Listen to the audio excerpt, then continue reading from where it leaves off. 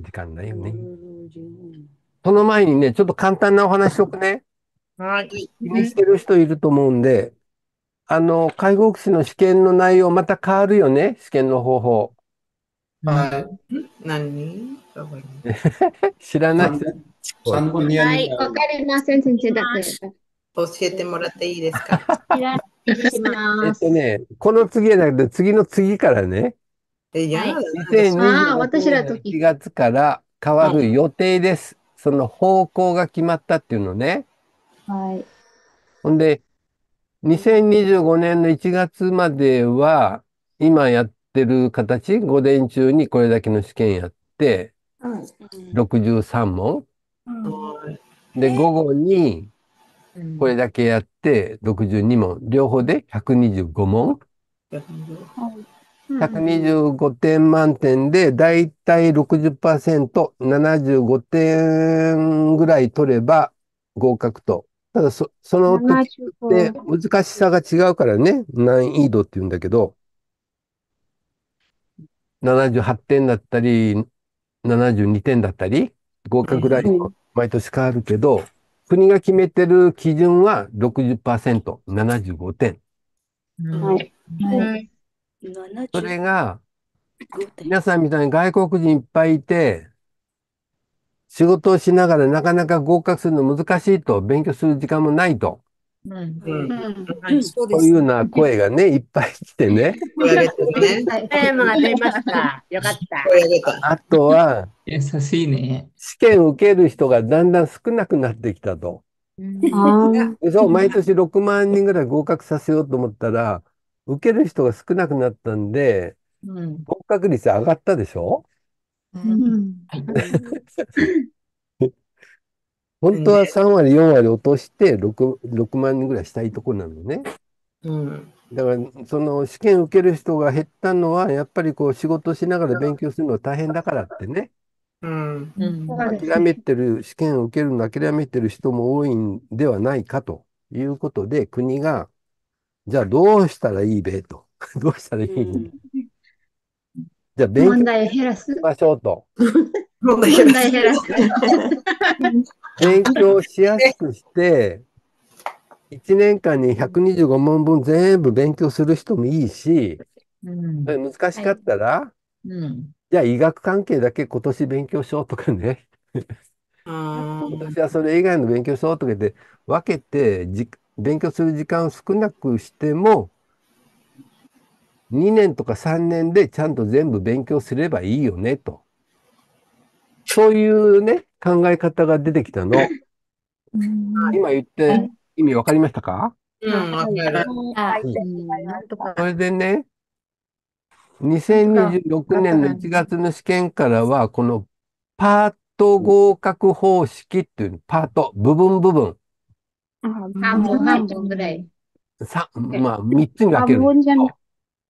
Yung kinakatabunan. まず午前中に A パート、パート A。はい。正社員じゃないよ、パートよ。パート A。パート A は、A パートは、あの、医学関係以外の人間の尊厳と自立、介護の機能、社会の理解、人間関係とコミュニケーション、コミュニケーション技術、それと生活支援技術、うん。これ全部で60問にしますと。これを A にしますと、A にね。うん。はい。で午前中これだけの試験やりますよ、と。で、午後になって医学、B。B パート。心と体の仕組み、発達と老化の理解、認知症の理解、障害の理解、医療的ケア。これ全部で45問ね。はい。これが B。はい。で、残り C が総合的な勉強と。C は介護過程と総合問題。うん。全部で20問しかないのね。うん。はい。これ全部で125なんですよ。はい。はい。はい、これ全体で125問になるんだけども、今まで通り、全体でその75点ぐらい取ったら同じように合格。それが70点とか65点だったとするじゃない？うん。はいうん。で今までだったら不合格でまた全部受けなきゃいけなかったのね。はい。また誰かさんたちみたいにまた1年間125問の勉強するのね。それ大変だから、うん。じゃあ、この A パートでだいたい6割、まあ、基準はこれから決めるっていうんだけどね、ま、毎年の難しさによって変わるけど、だいたい6割ぐらい、うん。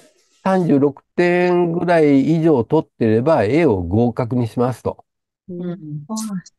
そしたら次の年 A は受けなくていいよ。と。受けてもいいけど受けなくていいよ。えー。選べる。どうやって合格するんですか？選べるんだってみ、もう一回全部受けるっていうでもいいし、もう合格したのはもうやめて残りだけ受けるでもいいと。うん。いいな。それに喜ん。いや、でも全部受けた場合に得意な点ところをいっぱい点数取ればそれで合格するん。だよ。得意な点今度はダメだった不得意なところをいい点取らなきゃいけなくなるん。だよ。はい。うん。まあ、どっちでも選べるらしいのね、今のところ。だから A パ前のート試験になで、れたってね。あもう一回言おう。125点満点で不合格の場合、はい。そのブレイクダウン、内訳見たら、この、この A、B、C のどれかで60%以上取ってれば、それが合格になります。えパート合格、パート合格ね。うん。で、ダメだった部分を次の時に受ければいいと。全部受けてもいいし、ダメだったパートだけ受けてもいいですよって。うん。そしたらじゃあダメな部分だけ練習一年多分ね、全部受けた方がいいと思うよね。例えばね、そうですかね。はい。介護過程と総合問題のところだけがもしダメだったとするじゃない？これ日本語難しいよね。うんはいあの、長文問題、はケースの問題いっぱい出てくるでしょ？い。はい。はい。日本語なかなか読むの難しかって、ここれだけもう一回受けてまたダメだったらアウトでしょ？はい。うんそうだね。もう一回全部受けたときに、これはダメでも、こっちの方でもっともっと点数取れば、全部で75点以上取ればいいんだからね。はい。そうだそれはね。皆さんのチョイスになります、オプションになりますと。わかりました。わかった？はい。ね、これは2年間まで OK。二年間。あーね。2026年の1月の試験でパート合格したら、残りをあと2年のうちでやればいいと。あ、先生、時間のことは未定と書いてありますので、まだわからないっていう状況ですか？まあ全然決まってない。うん。あはい。な、何時間、何十分の試験にするか、何時からにするかってまだ決まってません。その方法が決まったっていうだけね、今。あえへ。うんだからね、僕思うのに、不安だってま、もう一回受け、全部受けた方がいいのね。うん。そして、パー、パートで不合格のところが6割取ればそれでも OK だしね。ああ、そうですね。全体で6割取ればそれでも OK だしね。うんへへ。まあそれがね、9月のちゃんと勉強せないからな11日か12日にガバメントでこういう方向で行きますよっていうのが決まったの。うんもし A パートだけ合格したら、もう資格もらいました。もらえますか？資格もらえるわけないでしょ。次の試験の時にこれが免除、exempt 免除されると。免除される。免除。受けなくていいよと。うん、それだけ。これだけ受けてもいいですよと。じゃあ全部合格してから資格もらいます。はいはいはいはい。今の制度も続くんでしょう。今、今の制度って何？今の試験の、そのまや。ま。うん来ルールが年、再来年から。ルールでできましたか？え、まあ、どうい。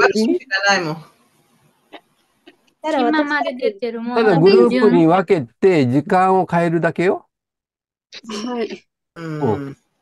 で全体を125点満点で75点以上取ってもいいし、ダメだったところだけもう一回チャレンジして、そのダメだったところがまた60%以上取ればそれでも OK と。